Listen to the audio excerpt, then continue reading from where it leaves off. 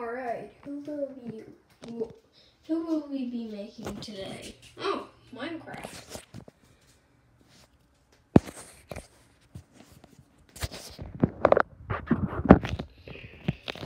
Alright, alright, let's add some of this 3D.